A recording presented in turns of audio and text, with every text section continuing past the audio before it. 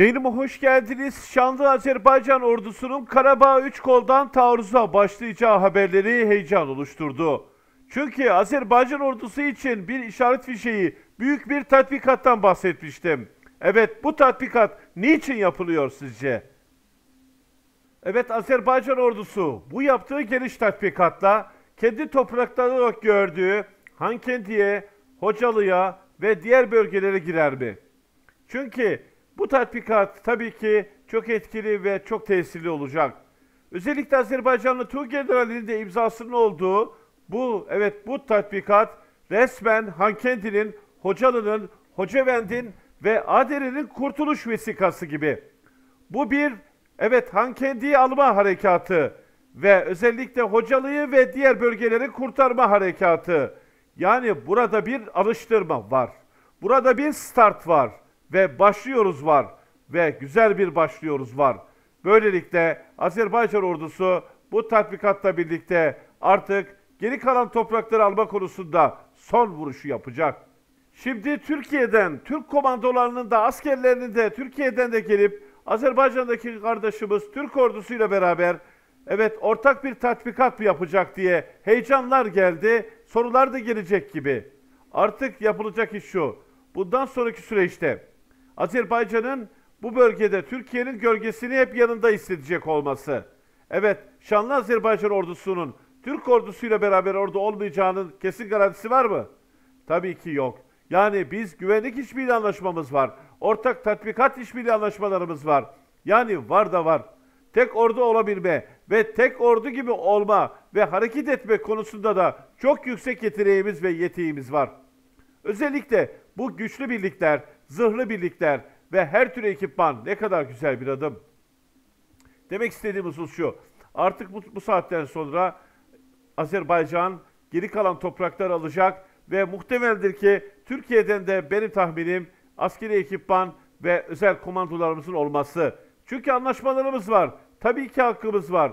Bir Türk paktımız var. Şuşa beyanamız var. Evet, iyi İran. Bu görüntülere iyi bak. Bu görüntülere iyi bak. Azerbaycan'ın ve Türkiye'nin kararlılığını gör.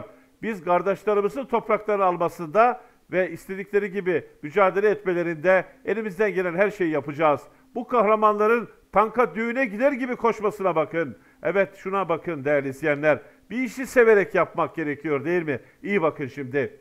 Evet tanka nasıl koşuyor? İşte savaşa böyle koşuyorlar.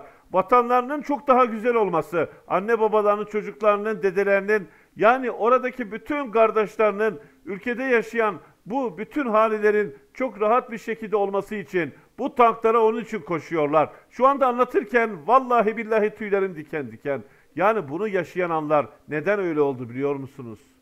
Karabağ'da, evet Karabağ'da en önde birlikler olarak tankçılar Fuzuli ve Cebrail'de inanılmaz bir cesarete imza attılar. Şehit oldular. Azerbaycan askerleri büyük bir şevkle, büyük bir azimle Karabağ'da, evet Karabağ'da düşman hatlarını yarmak için büyük bir mücadele başlattılar ve ateş üstüne, tank savalar üstüne araçlarını sürdüler ve birçoğu tabii ki şehit oldu. Özellikle bu taarruz bambaşka bir taarruzdu. Bu taarruz hepimizin tüylerini diken diken eden bir taarruzdu. Ve ne desek, ne yapsak anlatamayız o duyguları.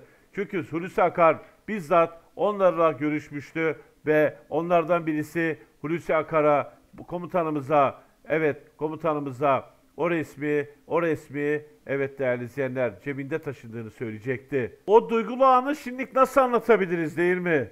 O duygulu an başka bir duygulu an. Özellikle şu üstteki görüntülerde Sayın Akar tokalaşırken, onunla tokalaşırken fotoğrafını çektiren tankçı, evet tankçı yüzbaşının özellikle, evet özellikle burada Sayın Akar'a, evet Sayın Akar'a bu fotoğrafın verilmesi ve bu anın yaşanması bambaşka bir duygu seli. Şehit oluyor ve cebinde Hulusi Akar'la çekindiği fotoğraf çıkıyor. Nasıl tüylerimiz diken diken olmasın, nasıl duygulanmayalım. Sayın Akar kendisini zor tutmuştu. Sayın Akar kendisini gerçekten zor tutmuştu ve tüyleri diken diken eden bir durumdu.